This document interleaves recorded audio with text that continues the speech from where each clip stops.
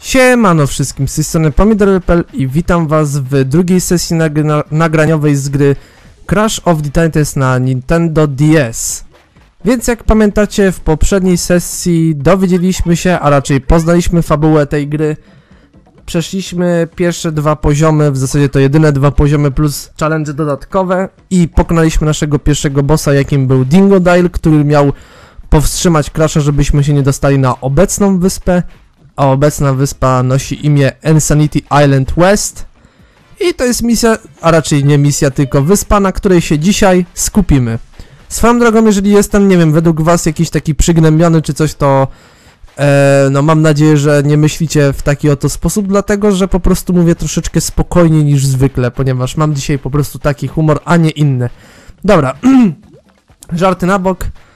Lecimy już po prostu sobie na prawo i rozpoczynamy sobie poziom. Ale zanim zaczniemy Insanity Jungle, zabierzmy się za po prostu Event Slider.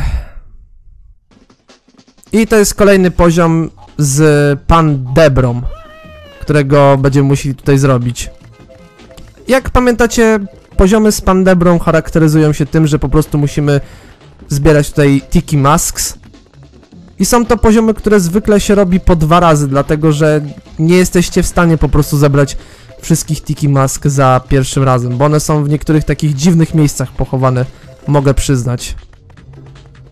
Na przykład tam widzieliście, że już ominąłem, nie? I coś kurde tutaj gierka zwalnia i to mi się troszeczkę nie podoba. O, tutaj ładnie żeśmy zebrali. Więc chyba trzeba będzie jeszcze jedną maskę zebrać. Na to wygląda. Bo nie widzę tutaj innej. Nawet nie ma tutaj e, tego tańca Crasha. I, do, I zdobyliśmy właśnie teraz gem za Slider Event, czyli właśnie za ten event, który teraz w tym momencie robiliśmy. No i teraz raz jeszcze cofamy się i robimy teraz poziom dokładnie na 100%. Te poziomy w sumie nie są aż takie trudne, one po prostu są dosyć takie, powiedzmy, ja wiem, bardziej wymagające, są takie bardziej pod spryt zrobione. Nie wiem, jak ja mogę tutaj inaczej te poziomy skomentować. Są dosyć specyficzne i już. Dobrze, że tutaj nie ma tego, dżema za wszystkie skrzynki, bo ciężko byłoby tutaj wszystkie skrzynki zdobyć, jeżeli mam być szczery.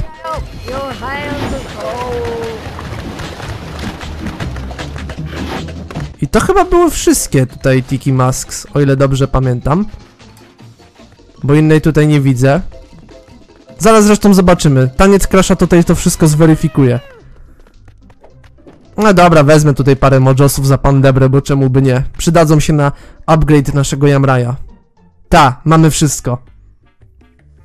Trochę was w błąd wprowadziłem przy pierwszej sesji, ponieważ przy pierwszej sesji powiedziałem, że e, taniec Crasha tak na dobrą sprawę nie oznacza to, że mamy 100%, a wręcz przeciwnie, on właśnie oznacza, że zdobyliśmy już 100% w tamtym e, poziomiku. No dobra, no to skoro mamy już pierwszy poziom zaliczony, w sensie bardziej challenge pierwszego poziomu zaliczony, to teraz przyszedł czas na regular playthrough, czyli nasz poziom, który musimy tutaj ukończyć. Do zebrania mamy 127 skrzynek oraz 750 mojosów. Let's do it!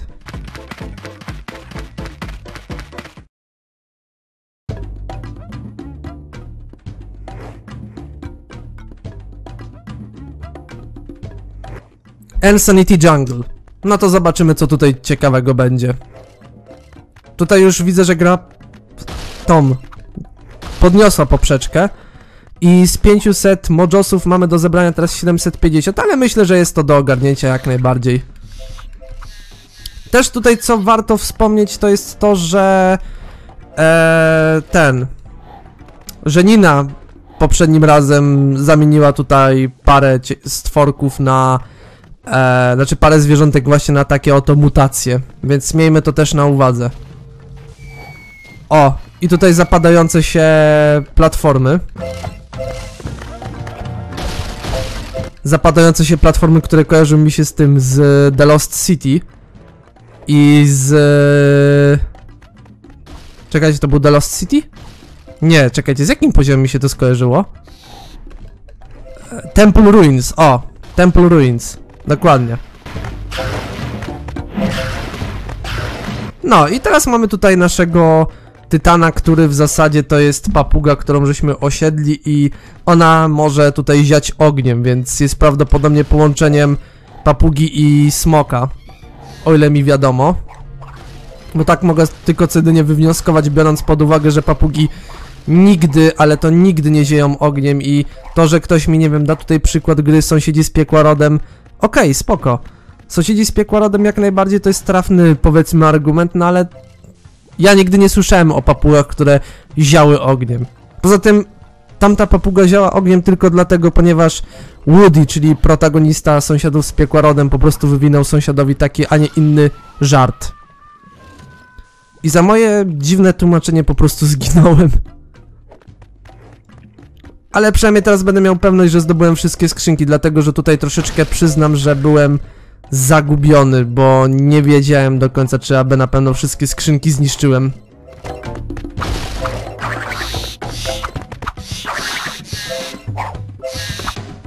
No dobra, tutaj mamy już, że tak powiem, papuszki, nierozłączki pokonane. Jeżeli nie będę pamiętał, to tutaj będzie imię tych papug, raczej tego oto tytana. Tu wiem, że to są braty, czyli te właśnie nietoperzo szczury. Wiem, że oni się brat po prostu nazywają, więc nie mają jakiegoś super skomplikowanego imienia. O radości. no i teraz co? Trzeba będzie tutaj doskoczyć oczywiście. No, widzicie, mówiłem, że to są braty. Miałem rację, hehe. Jeszcze tylko trzeba będzie doprowadzić, żeby ten, żeby tamte papugi przemówiły, to już wtedy będziemy mogli spać spokojnie, bo będziemy wiedzieli jak one się nazywają.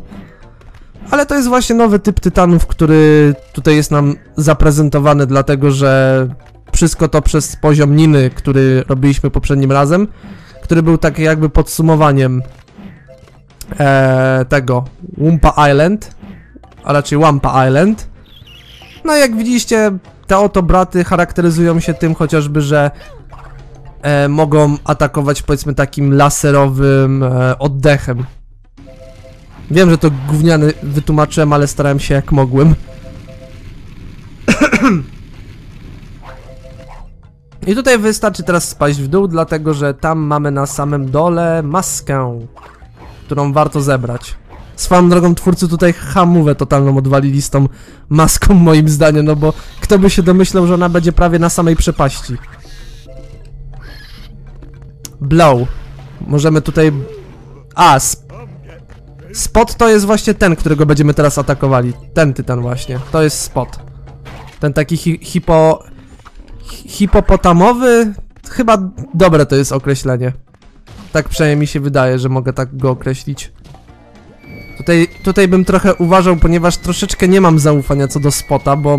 A nie, dobra. Doskoczył, więc swoją drogą bardzo dobrze. Uwaga, most, który się zapada. Teraz pytanie, czy tam nic u góry nie ma. Nie, nie ma nic. Dobra, to niszczymy. Dokładnie tak. Teraz będziemy musieli się go pozbyć. Swoją drogą bardzo lubię level design tego poziomu.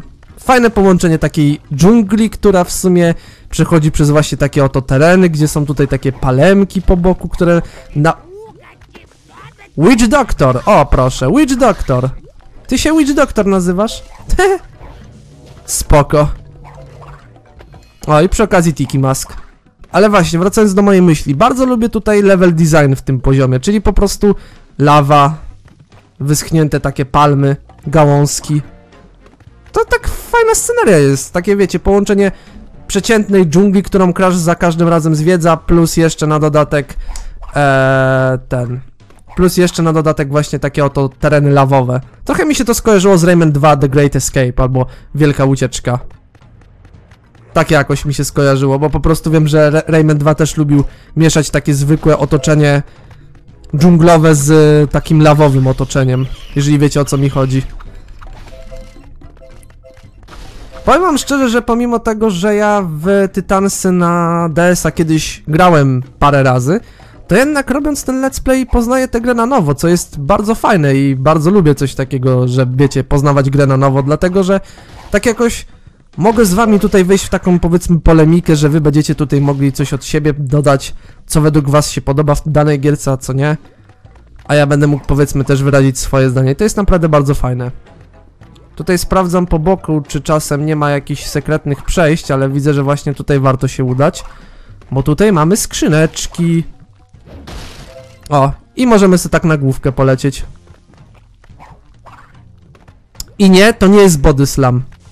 To nie jest body slam i proszę mi tutaj nie pisać, że Crash w tym wypadku wykonuje body slam, dlatego że on nie leci ta, na tak zwanego placka, tylko po prostu głową uderza o ziemię. Tak jak zresztą mogliście dostrzec. Będę się starał, mówię, wszystkie poziomy robić na 100% i będę do tego dążył, żeby je robić na 100%, dlatego że przed ograniem tej gry oglądałem sobie let's play, a raczej, no ciężko to nazwać let's play, jem!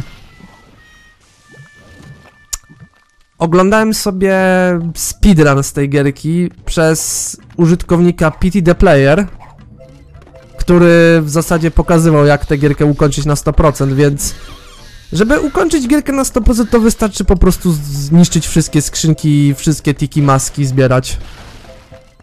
Ale zbieranie tiki mask w tej gierce przynajmniej sprawia jakąkolwiek przyjemność w przeciwieństwie do gierki na Game Boy Advance. I nie mówię, że wersja na Game Boy Advance jest jakaś okropna, bronić cię Panie Boże.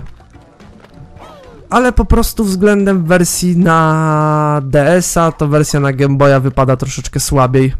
Takie jest moje zdanie w tej, w tej kwestii. I raczej zdania nie zmienię. Aczkolwiek będę starał się pod koniec tego let's playa podejść krytycznie do każdej wersji, którą ogrywałem w tym maratonie. Czyli jeżeli chodzi o Of the Titans teraz, bo ciężko mi jest wypowiedzieć się na temat Mind Over Mutant, biorąc pod uwagę, że Mind Over Mutant jeszcze nie robimy. No po tej gierce dopiero będziemy robili wersję DS-ową, którą nie będę robił na 100%, wyjątkowo w tym maratonie. Ale szczegóły dowiecie się, jak będę ogrywał Mind Over Mutant na... E, na, na, na, na, na... Nintendo DS. Bo pierwsza wersja, jaką będziemy ogrywali, to wersja na Nintendo DS.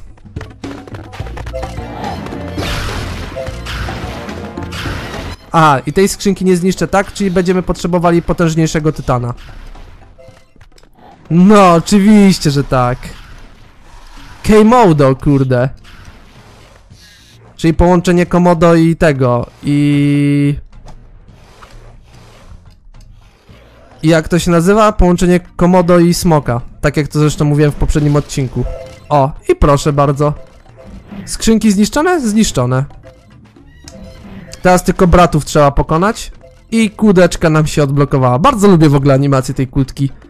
Kojarzy mi się tym razem Harry Potter i Kamień Filozoficzny i Komnata Tajemnic na PSX-a. O, to jest ta sekwencja, gdzie Nina chodziła. Pamiętam ją doskonale. Warto byłoby tutaj te skrzynki zniszczyć na wszelki wypadek, ponieważ nigdy nie wiadomo.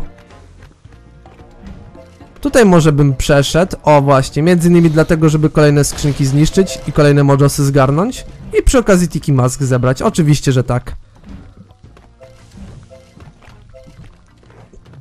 Ta gierka jest bardzo króciutka, bo ona ma tylko cztery wyspy, czyli tak na dobrą sprawę, no, będziemy zaraz po tym świecie już w połowie gierki.